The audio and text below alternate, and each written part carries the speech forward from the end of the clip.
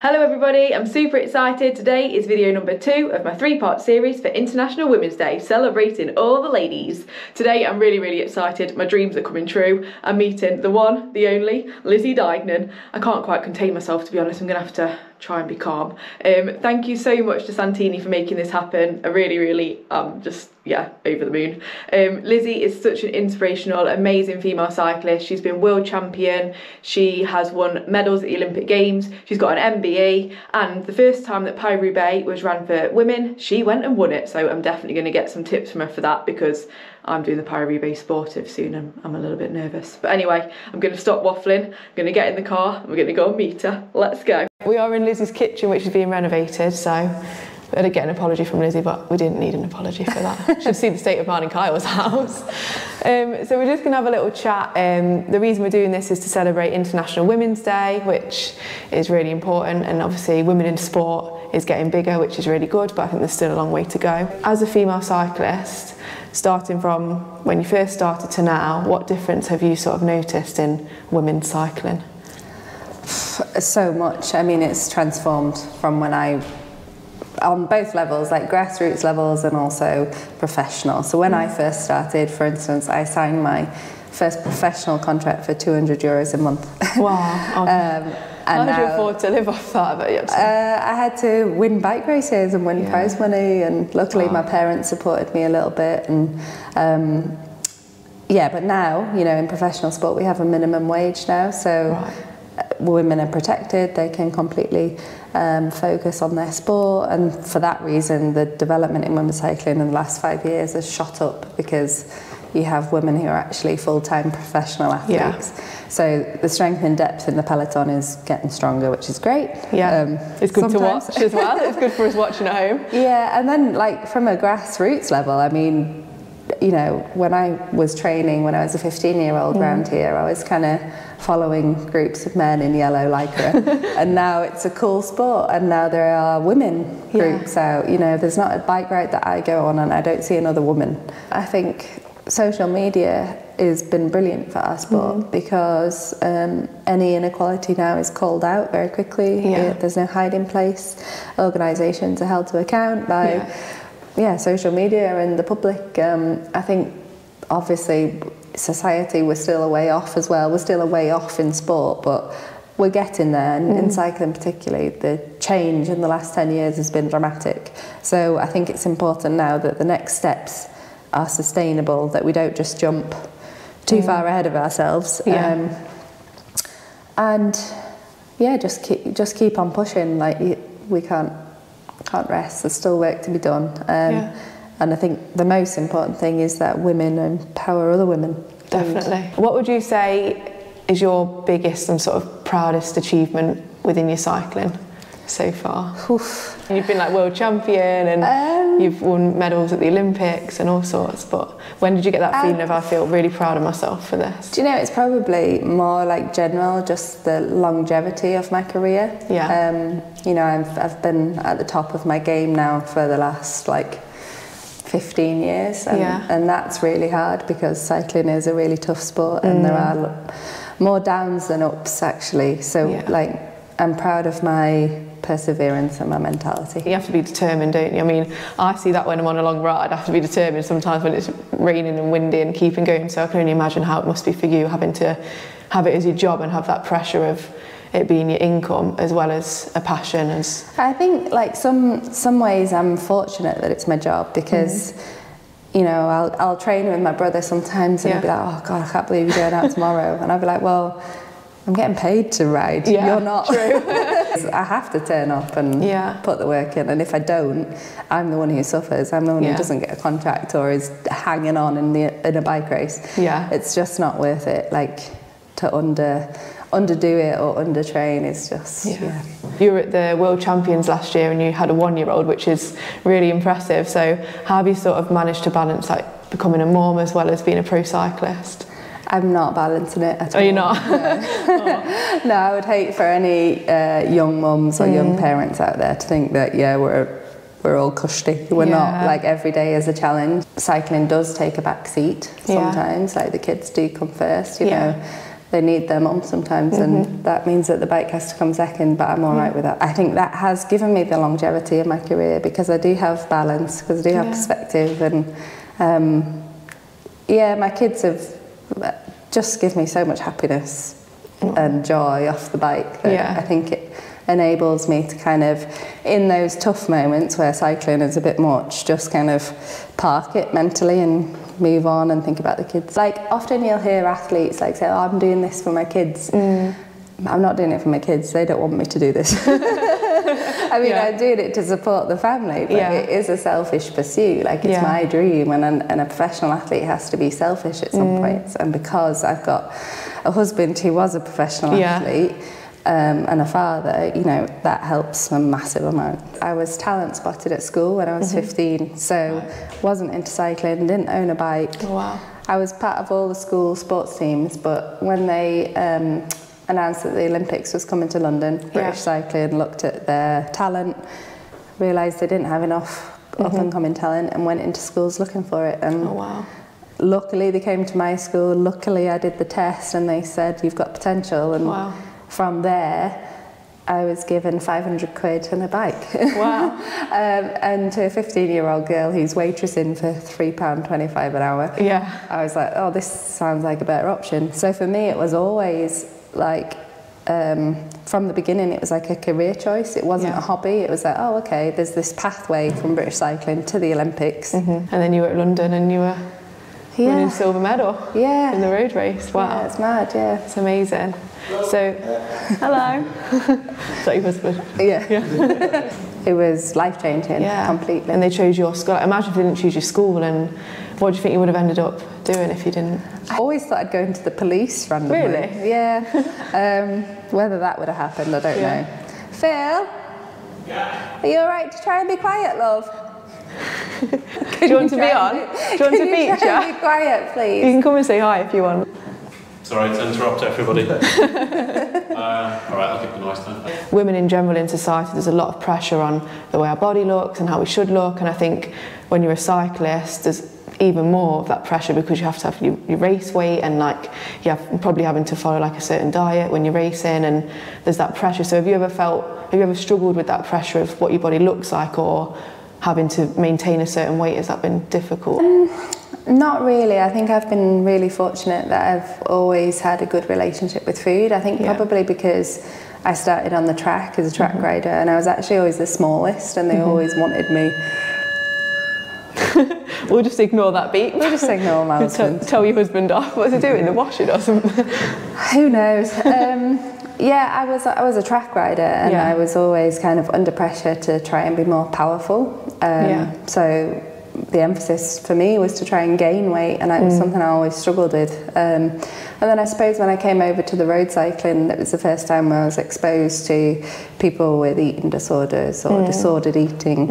Um, and yeah, I was just I was fortunate that and it didn't affect me. I have always seen food as fuel and performance related. Yeah. Um, so yeah, yeah, I've, I've been fortunate, but I do see really that it is a huge problem. Yeah. but I think it's in terms of improvement, like since when I first started, now we have nutritionists on the team, Yeah. we have psychologists on the team. So I think the help is there now that wasn't before. Yeah, and that's really good. And I think it's also important to know that it's not just women that can struggle with that, it's men as well, because there's Oh, pressure on absolutely. them too, isn't there? Yeah, yeah. I Um, mean, I've you know I've seen that on my husband's cycling teams. You know, it's not just a female problem. I've tried a bit of racing and I'm just like, it's not for me. I've done crit racing, I got to cat three and I was like, do you know what? No, I much prefer the endurance, the solo, just on my own. Because for me, like the risk of crashing and just being around loads of people, I'm just like, oh. So how do you cope? Do you have that fear of like the crashing and all of that? And what would you say to somebody that wants to start getting into racing but's nervous about about it? Um, again, luckily I don't. Like I just Fearless. like for me that's kind of the buzz of like I love the buzz of racing. I like the elbows out, knocking around in the peloton. Like that's kind of why I do it. Long solo rides sounds Yeah. horrendous to me. Really? Oh. See, for me, that sounds horrendous. Like, I'm like, when you're on a long solo ride, you're on your own. Like no one's Bored, gonna. No, yeah. it's no. I'm looking at the scenes and like waving to the sheep and all of that. um, but like, I'm not fearful because no one's gonna crash into me. I'm in control of where I'm going, and Yeah. you know, but you've got no control. Like if someone goes wrong in front of you, you're just Yeah, I like think I, I don't know. It's personality type, Yeah. isn't it? I need the adrenaline buzz of Yeah. people around me. Like for me, the biggest struggle is long endurance training rides. Is it? I really, really struggle. Um, If you want to race, Mm. then you do have to push yourself out of your comfort zone. Um, equally, like you tried it and you didn't like it, Yeah. so why would you put yourself through that? Exactly, You know? exactly. I used to go like we, me and Kyle would be driving. I'd just be like, I don't want to do this car. I don't know why I'm doing it. But in the moment in the race, I would enjoy it.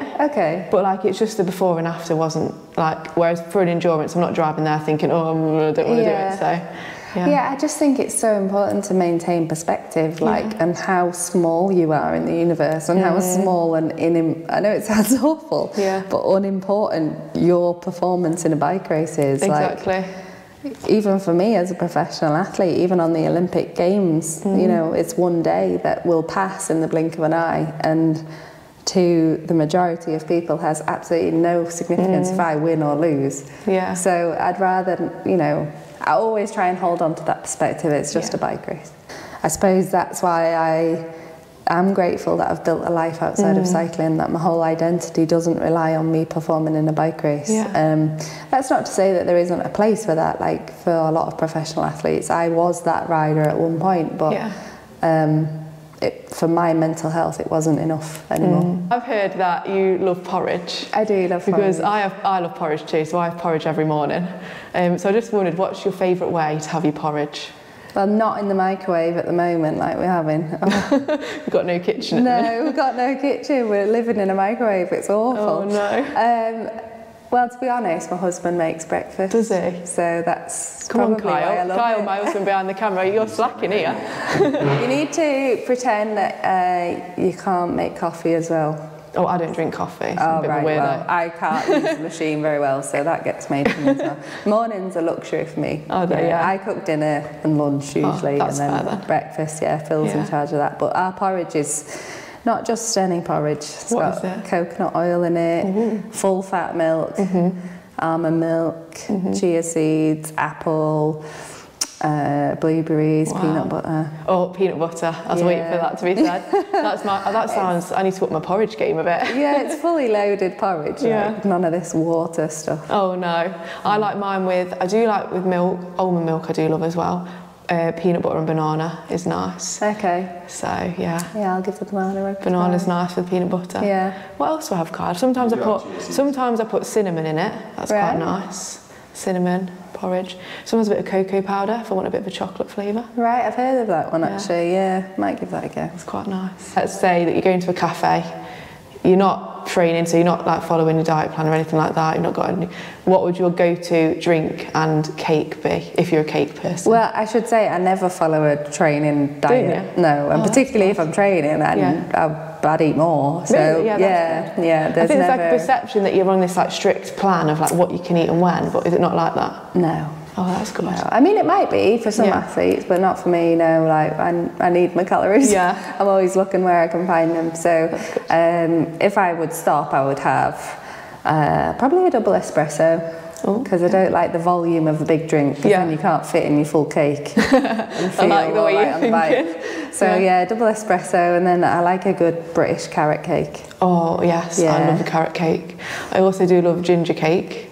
Not had ginger cake before. Haven't you? You've never had ginger cake? I don't think so. No. Oh, my, you need to try ginger cake now. You'll like it. If you like carrot cake, I think you'll like ginger cake. Okay. And I do like flapjack. Flapjack. Yeah. Really? What Yeah, like you a buy a good one. flapjack? From a cafe if it's a good homemade one. Yeah, good Hmm. I thick feel one. like that's sort of like ba- very basic sort of. It is quite basic, but it's nice. Right. I need. I think I need to come to your cafes, ginger and flapjack. Yeah. Right? Have you ever tried a chai latte? Yeah. I love them. They're what I have all the time. Bit bougie, isn't it? Yeah. it's nice though. Yeah. No. I like chai latte too. If you could only ride in one country for the rest of your life, which country would you choose? Where would you want to ride? That is a tough question. um, I'd say Ireland, but it'd have to be summer every day. Somewhere every day in Ireland. Oh, I've never ridden in Ireland. Oh, it's spectacular. it nice? It's like Yorkshire, but better No. because it's got the sea. So Yeah. yeah. Nice. I thought you'd choose somewhere more tropical. No, I like uh, I like the kind of rolling, grippy, Yeah. green scenery. Yeah. yeah, I don't really like dry, hot weather. Oh no, yeah. It's do you so you prefer to be cold on a ride rather than warm. Yeah, absolutely. Yeah, yeah. Mm. I'll have to add Ireland to my list to go. so obviously you did Paris-Roubaix Yeah. and you won in 2021. And that was the first Paris-Roubaix for women, right? And it started in 1890, I don't know when, 1890 Yeah, it's something. 125 years before ours. Yeah, That's crazy, isn't it? yeah. So how did it feel like the first ever women's one and you won it? It was yeah, phenomenal experience. It was really weird mm. because it was still post-pandemic. Right. Like in that time, so it was postponed until the October, Yeah. and it was in France, and they were very strict on crowd control and stuff, so the public weren't allowed to come and watch. So I did this massive race, this massive result. Yeah. And you went off solo, like you did a really good breakaway, didn't you? Yeah, it was amazing. Like Yeah. it was phenomenal, like the experience. But then it was like actually when I left the race and turned my phone on, that it hit me how big the result Yeah. was because yeah, in the bubble, Mm. the COVID safe bubble, it was great, but not kind of as big as it was on the Yeah. outside world, which was a bit weird. Yeah, you didn't get that atmosphere in the moment. Yeah, That's a shame. Me and my husband Kyle are actually doing the Paris-Roubaix Sportive this year. Uh-huh. Um, and I'm a bit scared about it. Have you got any tips of what we need to do to survive? I have been told I should probably wrap my hands. Is that, is that right? Or? It depends. See, I got a load of stick for not wearing gloves. I didn't Right. wear gloves, but Were your hands, how were They were pretty rough, yeah, they were bleeding and stuff, but I think they'd bleed if I wore gloves anyway, because I don't wear gloves normally, so I didn't want to just suddenly wear gloves and then have blisters from wearing the gloves. I think it's about accepting that you're going to have rough hands at the end of it. Like, Yeah. um, tyre pressure is one, like, particularly as women, um, like for instance, the tyre pressure gauge that uh, Pirelli, our sponsor, gave us Mm-hmm. only went down to 65 kilos. Right. Well, I'm 58. It was like, well, I'm going to have to use less pressure than the Yeah. safe safe limit. So it's tricky to get tire pressure right, but Yeah. run as low as you feel safe to do Okay. so. So nice flat tyres, basically. Basically, yeah. if you have a bad day, it is called the hell of a north for a reason. You are just the problem is you, your momentum when you're not or when you're not got strong, good legs. You just hit in every stone like bang, Oh, no. bang, bang. Whereas if you're on a good day, you kind of you go over them nicely. Yeah. Um, so yeah, just hope for a good day is all I'll say. Fingers crossed for a good day. You got anything else on the table for this year? In Uh, yeah, the big ones are the Olympic Games in Paris and then the Tour de France the week after. Yeah. So there's like a very intense period at the end of July and August. yeah, that's So- going to be tough, isn't it? Yeah, it will be, Yeah. but it's. I like big occasions, so uh, like for me, that suits me down to the ground. Like Yeah. the bigger the occasion, usually the bigger the performance. So That's good. fingers crossed, Yeah. I can live up to my own expectations, I Yeah. suppose. It's exciting. I'm looking forward to watching that, and uh, yeah, I can't wait to see how well you do. And yeah, sorry, I kept saying that's the last question, but then more questions kept popping into my head. Also, we got stuck behind a tractor on the way here. My plan was to go to Lidl on the way and get you some peanut butter and this, my favourite peanut butter, but we got stuck behind the tractor, so unfortunately I didn't bring that for you. But I'll have to post you some instead. Yeah, well, can I just put it out there as well? It's Lidl.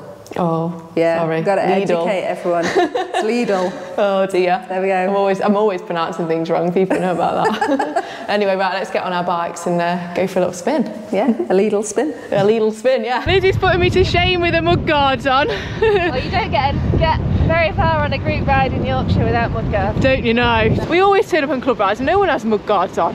So well, we're just it's not nicer good. in Yorkshire, aren't we? Must be, yeah. I love the love the kit. Thank you. Yeah, it's Very nice. jazzy. Yeah, I like it. It's safe. I mean, my rain Yeah. jacket's a bit dark, but it's good. People see you, see us in the peloton. Yes, definitely stand out. Yeah. Along we go. Blooming heck, I never thought I'd say I was on Lizzie Deignan's back wheel. She's going very easy on me. It's very muddy. It's like being at home with all the mud on the roads. Getting you ready for Roubaix. Yeah, roubaix practice. One of the things we were just talking about a minute ago off the camera was kind of like the struggles of bib shorts with women. Yeah, Have you ever struggled with saddle sore at all or? yeah, definitely. Yeah. Yeah. Um, I mean, I just was put on the wrong saddle to begin with when Oh, I first no. started riding. Yeah. And I struggled with swelling Oh. on one side and then managed to get it under control by having like different saddles, different Yeah. chamois. Um, I tilt my saddle down. Right. So my nose of the saddle is five degrees tilted, Oh. which sounds like quite a lot and it does look like a lot. Yeah. It makes all the difference for me. Yeah.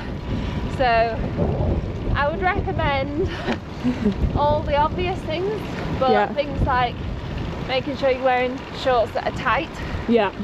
like as tight as they can be, so your Right. chamois doesn't move around. Yeah. Um, getting out your kit as soon as possible, Yeah. making sure your chamois dry before you wear it. Yeah. Um, well, what else? Um, yeah, just playing around so that you do find a saddle that fits. It is possible to be comfortable. Yeah. You shouldn't suffer in silence. Yeah. I know, and I learned that on Paris Brest Paris. Yeah. But I think one thing for me is definitely the tightness. Yeah, I think mine were a bit loose, and I think I didn't realise they have to be really tight. So yeah. Yeah. But oh, we got a little yippee coming up now. Lisa's going to wonder what the, what on earth I'm on about. When I go down a hill, I always go yippee. I'm going to go on quite hilly training rides, or yeah. yeah, I like hills. yeah. Makes the dime go faster. It does. I love hills as well, actually. So what's your favourite hill to climb? Norwood Edge. And where's that? Is that Uh, it's about five miles from here. okay? Just a really steep climb. In Yorkshire. Yeah. Is there any climbs abroad that you like? That are um, Tourmalet was pretty cool in the Yeah. Tour de France. nice? Um, and then 112 is pretty Oh, that, Special. that's on my bucket list. Yeah, it's, it's definitely worth doing. Hello, sheepy. Good morning. Lizzie's thinking, what on earth is this Yeah, girl yeah, doing? yeah. Didn't I- you get a thing for sheep? We've got sheep in our back garden. I Have should ya? yeah. I love saying hi to the animals when I'm riding. Pop up. Now, Yeah. Lizzie, I always get told off for going in too stiff of a gear uphill. Right. So, would you tell me off for that, or do you think? I'd It's say okay. you do what you want to do. Oh, Yeah. that's all right then. I'm always told I train in too hard gears as well, but I was world champion, so Yeah, exactly. You can tell him. one of those things. I mean, you're always advised different stuff, but Yeah, I suppose it's important to listen to people yeah, who've probably more experienced than you. yeah. You definitely are more experienced than me. No. uh, we'll head left here. Okay. Woohoo! This is unreal to me. We've got some lovely views. Riding with a pro. I mean, how did I get here? I do not blooming know. But I'm embracing it. Oh, this is a random question that's popped into my head. Yeah. Sports massages. Yeah. Have you ever cried in one? No. No. Do people cry in them? Yeah. I ha- well not I've had tears. I've been reduced to tears after after a very long ride. I did the national 24 hour time trial. Right. So rode for 24 hours and a sports massage a few days after. Oh, I've never been so much pain in my legs. Literally was digging in so deep, but yeah. I'm seeing the wrong massage No, therapist. no tears for you. I've never, I've never cried over a massage. No. Maybe your legs just are so strong they just don't Yeah, we'll say don't that, build yeah. up too much lactate. That's our little ride done. A few more Maloney's in the bank. Now Maloney's is another thing Liz is going to be like, what on earth she on about? I don't know why it's called Miles Maloney's. Yeah, why not? It started on a long distance ride. These things happen. You sure it's not um doesn't mean something in another language? Maloney's. Maloney. Maybe I have to Google it. but it's been great to ride with you, so thanks for taking me on a little spin. Sure, thanks for coming. It's all right. Got star service here. Any teams out there looking for a mechanic? Great I stuff. can't have you, I need you. Your local bike shop were looking for an apprentice mechanic. Actually, yeah, weren't there's a job advert out for apprentice mechanic if you fancy about the local bike Yeah, shop. I'll send my CV in. Great I stuff. was say, bike rider. they? It's new, look at that. Perfect. Thank you very much. Shiny oh, and new. Carl, I think we should get you. you on this when we get home. Your new job. Oh, Carl, even yours is getting done. Heavy bike, isn't it? Equality. Yeah, That's what we're all about. Exactly. yeah, that's my old bike. I Kyle's inherited. It's a bike or what? It's a what? so. It's endurance bike. Right. It's normally the canyons is super light. Like. Yeah. I, maybe I think I've just added some weight into it to slow him down. Yeah. I'll fill, fill the middle of the uh, tube with cement. oh, what a lovely morning of chatting and riding. I can't believe I've just been riding with Lizzie Deignan. That was just a dream. Kyle, as usual, needs a wee, so he's just stopped for a wee on the way home. He has been here with us today behind the camera, not featuring for once. Um, but yeah, it's just been really, really nice. So thank you to Lizzie for for meeting me and thanks to Santini for making this happen. Shout out to John, my best friend at Santini. Um, as you can tell, it was a muddy ride. Oh, Kyle's back. Here we go. We can have a little feature. as usual, going for a wee. Um, very muddy ride. I think it's sign of a good ride when you get mud on your face. Um, and yeah, star service getting our bike hosed down at the end. Oh, neck. um, but yeah, thank you so much for watching. If you're a woman and you want to get into cycling, don't let anything stop you. Go for it and uh, ride in the way that you enjoy it, I think is the, the main message. Just don't feel pressured to ride. You know, if you don't want to race, don't race. If you do, then go for it and just, yeah, do what makes you happy, I say. And uh, it's always great to meet new people and that's what I love to do. So hopefully that's been a good video. Hopefully we're not going to ruin this helmet that's just fallen forward. Um, oh, another tractor. but yeah, it's time for us to go home and actually get back to our day jobs now. So yeah, TT to the FN. Goodbye. Thank you so much for watching.